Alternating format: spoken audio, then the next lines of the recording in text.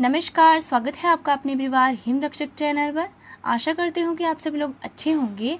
तो आज का मुख्य टेस्ट पेपर है हिंदी ग्रामर के ऊपर, जो स्टूडेंट्स एचपी पुलिस कांस्टेबल की तैयारी कर रहे हैं। उनके लिए स्पेशल क्लास है और जो स्टूडेंट्स किसी अदर एग्ज़ाम की तैयारी कर रहे हैं उनके लिए भी ये वीडियो इम्पोर्टेंट रहने वाली है, क्योंकि हिंदी ग्रामर के क्वेश्चन हर एक एग्ज़ाम में पूछे ही जाते हैं। स्टूडेंट स्टार्ट करने से पहले आपको बता दूँ, यदि आप जेल बॉर्डर की तैयारी कर रहे हैं और तैयारी के लिए मॉक टेस्ट पेपर लगाना चाहते हैं तो इस नंबर पे आपने मैसेज करना है। आपको न्यू पैटर्न के साथ मॉक टेस्ट पेपर प्रोवाइड कर दिए जाएँगे, ठीक है? Seven eight zero seven eight double two zero four five पे आपने मैसेज करना है।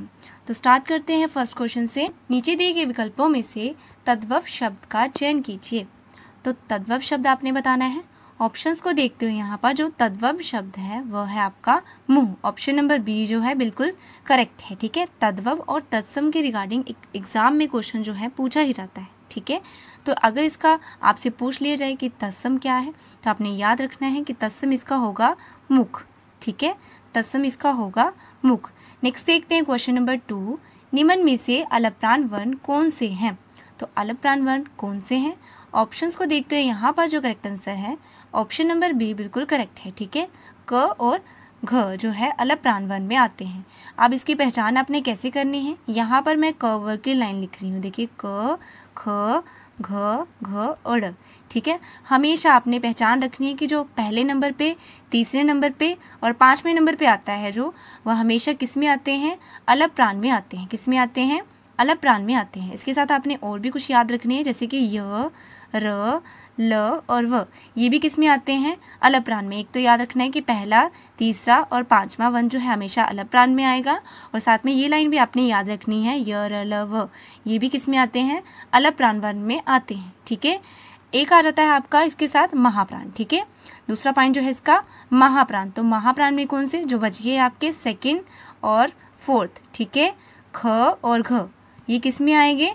महाप्राण में आएँगे। इसके साथ आपने एक और लाइन याद रखनी है। श श, स, ह, ठीक है? ये भी किसमें आते हैं? हमेशा महाप्राण में आते हैं। जैसे उसमें मैंने आपको बताया ना कि य, र, ल, व। ठीक है, वो अलग ब्रांड में। वैसे ये लाइन आपने याद रखनी है इसके साथ। सेकंड और फोर्थ के साथ आपने याद रखना है कि श श, स, ह जो है, महाप्राण वर्ण में आते हैं, ठीक है?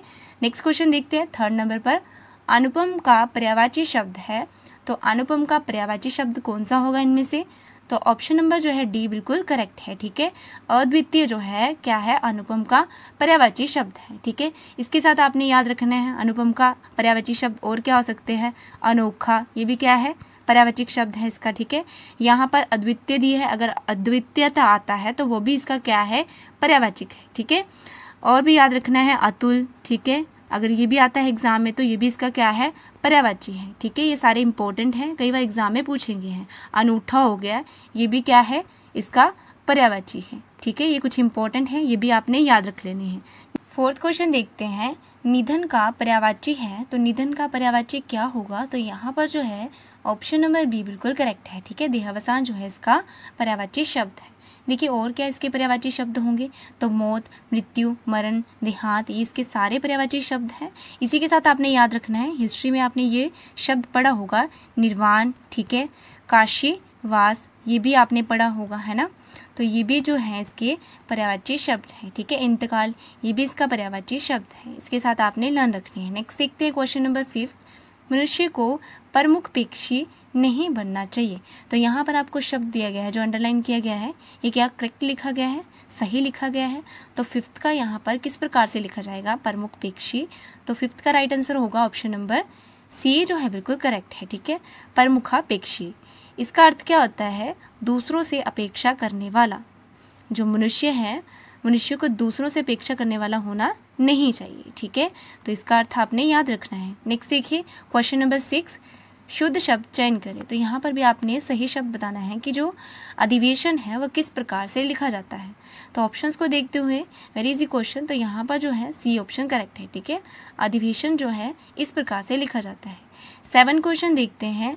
निराधार में प्रयुक्त संधि है। तो आपने प्रयुक्त संधि बतानी है, इसमें क्या है? निराधार में जो है ऑप्शन नंबर सी बिल्कुल करेक्ट है, ठीक है? विसर्ग संधि है इसमें, और इसका संधि विच्छेद किस प्रकार से होता है तो आपने याद रखना है, नी, यहाँ पर विसर्ग लगानी है, ठीक है, और आधार, ये इसका संधि विषेद है। यदि एग्ज़ाम में संधि विषेद पूछ लिया जाए तो इस प्रकार से इसका संधि विषेद है। एट क्वेश्चन देखते हैं दृग्जल का सही संधि विषेद है तो यहाँ पर इसका संधि विषेद बताना है। एट का जो राइट आंसर है यहाँ पर ऑप्शन नंबर डी बिल्कुल करेक्ट है, ठीक है, दृक जमा अचल। यदि इसकी आपसे पूछी जाए कि क्या है इसकी संधि तो व्यंजन संधि है इसमें। क्या है? व्यंजन संधि, ठीक है? नेक्स्ट क्वेश्चन देखते हैं नाइन क्वेश्चन धनवान का विलोम शब्द है तो धनवान का विलोम शब्द क्या होगा? यहाँ पर नाइन्थ का जो राइट आंसर है ऑप्शन नंबर ए बिल्कुल करेक्ट है, ठीक है? अंकिंचन जो है इसका विलोम शब्द है। नेक्स्ट देखते हैं क्वेश्चन नंबर टेन उद्दत का विलोम शब्द है तो उद्दत का विलोम शब्द क्या होगा? यहाँ पर जो टेन का राइट आंसर है ऑप्शन नंबर बी बिल्कुल करेक्ट है, ठीक है? सौम्य, यहाँ पर अगर विनीत दिया होता तो वो भी इसका विलोम शब्द हो सकता, ठीक है? उद्दत का जो मीनिंग होता है, वह क्या होता है? अभिमानी, और सौम्य का होता है नमर, ठीक है? नमर, यदि इसमें अभिमानी या फिर ऑप्शंस में विनीत दिया होता तो वो इसका विलोम शब्द होता, ठीक है? नेक्स्ट देखते हैं क्वेश्चन नंबर इलेवन विकारी शब्द कौन सा है? तो विकारी शब्द कौन सा है? इन ऑप्शंस को देखते हुए यहाँ पर जो विकारी शब्द है ऑप्शन नंबर डी बिल्कुल करेक्ट है, ठीक है? लड़का जो है, विकारी शब्द है। ट्वेल्व क्वेश्चन देखते हैं। सुमित सो रहा है। वाक्य में क्रिया का वेद है। तो वाक्य में क्रिया का वेद है। ऑप्शंस को देखते हुए ये कौन सा करेक्ट है? तो ऑप्शन जो है बिल्कुल ए जो है, सही है, ठीक है? अकर्मक है इसमें, ठीक है? सुमित सो रहा है, खा रहा है। ये सारे के सारे किसमें आते हैं? अकर्मक में आते हैं।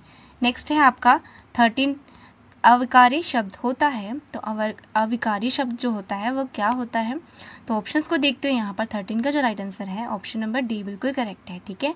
अव्य नेक्स्ट देखते हैं क्वेश्चन नंबर फोर्टीन मधु जहर का घूट पी कर रह गई। मुहावरे का अर्थ है, जहाँ पर जहर का घूट पी का जो अर्थ होगा वह क्या होगा? फोर्टीन का जो यहाँ पर करेक्ट आंसर होगा ऑप्शन नंबर बी बिल्कुल करेक्ट है, ठीक है? अपमान को चुपचाप सह लेना, ठीक है? यहाँ पर इसका अर्थ है। नेक्स्ट देखते हैं क्वेश्चन नंबर फिफ्टीन टिप्स लगाना का अर्थ है तो फिफ्टीन का यहाँ पर मुहावरे का अर्थ क्या होगा? तो फिफ्टीन का बी ऑप्शन जो है, सिफारिश करना बिल्कुल करेक्ट आंसर है। नेक्स्ट सिक्सटीन क्वेश्चन देखते हैं। किसी के प्रति उदारता एवं कृपा पूर्वक किया जाने वाला व्यवहार तो वाक्यांश के लिए एक शब्द दिया गया है तो सिक्सटीन का जो यहाँ पर राइट आंसर होगा ऑप्शन नंबर डी बिल्कुल करेक्ट है, ठीक है? अनुग्रह जो है, बिल्कुल सही उत्तर है। नेक्स्ट देखते हैं सेवनटीन क्वेश्चन। अनुशासनात्मक कार्यवाही की प्रक्रिया के फलस्वरूप पद से नीचे उतरना। तो यहाँ पर भी आपको वाक्यांश के लिए एक शब्द दिया गया है। तो यहाँ पर करेक्ट ऑप्शन है। पदावनति जो है बिल्कुल करेक्ट ऑप्शन है। डी ऑप्शन बिल्कुल सही है। नेक्स्ट देखते हैं। क्वेश्चन नंबर एटीन तुम यह काम मत करो। तो इसमें क्या होगा? आज्ञावाचक होगा, निषेधवाचक होगा, प्रश्नवाचक या विस्मयवाचक होगा। तो आपको पता है कि यहाँ पर मत, यानी कि ना या मत की जब भी बात होगी तो ऑप्शन नंबर कहाँ पे आएगा? बी जो है बिल्कुल करेक्ट है, ठीक है? निषेधवाचक पे ही आपने टिक करना है। नेक्स्ट देखते हैं क्वेश्चन नंबर नाइनटीन शशुंदर के सिर में चमेली का तेल का अर्थ है तो यहाँ पर इसका अर्थ क्या होगा? 19 का जो राइट आंसर है ऑप्शन नंबर डी बिल्कुल करेक्ट है, ठीक है? अयोग्य व्यक्ति को अच्छा पद मिलना यहाँ पर करेक्ट आंसर है। नेक्स्ट देखते हैं ट्वेंटी क्वेश्चन कोई ईर घाट तो कोई वीर घाट का अर्थ है तो यहाँ पर आपने इसका अर्थ बताना है। ट्वेंटी का जो अर्थ है इसका बी ऑप्शन करेक्ट है, ठीक है? तालमेल ना होना। कोई ईर घाट तो कोई भीड़ घाट का अर्थ है, तालमेल ना होना। नेक्स्ट देखते हैं ट्वेंटी वन क्वेश्चन निम्नलिखित में से किसे वृत्ति या व्यवहार, व्यापार कहते हैं? तो वृत्ति या व्यापार कहते हैं, किसे कहते हैं? ऑप्शंस को देखते हुए यहाँ पर ऑप्शन नंबर ए जो है बिल्कुल करेक्ट है, ठीक है? शब्द शक्ति को कहते हैं। ट्वेंटी टू क्वेश्चन देखते हैं। शांत रस का स्थायी भाव है तो शांत रस का जो स्थायी भाव है, वह क्या है? ऑप्शंस को देखते हुए ट्वेंटी टू का जो राइट आंसर होगा, निर्वेद जो है बिल्कुल करेक्ट आंसर है, ठीक है? डी ऑप्शन बिल्कुल करेक्ट है। ट्वेंटी थ्री क्वेश्चन देखते हैं। चारों चरणों में समान मात्राओं, यहाँ पर आएगा, ठीक है? मात्राओं। ये आपने नोट कर लेना है यहाँ पे, ठीक है? मात्राओं वाले शब्द को क्या कहते हैं? तो चारों समान जो है, मात्राओं वाले शब्द को क्या कहते हैं? ऑप्शन नंबर ए जो है, सममात्रिक शब्द जो उसको कहते हैं, ठीक है? ऑप्शन नंबर ए जो है यहाँ पर बिल्कुल करेक्ट है। नेक्स्ट क्वेश्चन देखते हैं। ट्वेंटी फोर तरनी तनुजा तट तमाल, तरुवर छाए में कौन सा अलंकार है? तो इसमें आपने अलंकार बताना है, ठीक है? ट्वेंटी फोर का जो राइट आंसर है, अनुप्रास अलंकार, ठीक है? ऑप्शन नंबर ए जो है बिल्कुल करेक्ट है। ट्वेंटी फाइव क्वेश्चन देखते हैं। वर्तमान में हिंदी का प्रचलित रूप है। तो वर्तमान में हिंदी का प्रचलित जो रूप है वह क्या है? ऑप्शन नंबर सी बिल्कुल करेक्ट है, ठीक है? खड़ी बोली जो है, यहाँ पर करेक्ट आंसर है। नेक्स्ट देखते हैं, ट्वेंटी सिक्स क्वेश्चन। सकार में उपसर्ग है। तो यहाँ पर उपसर्ग बताना है आपने।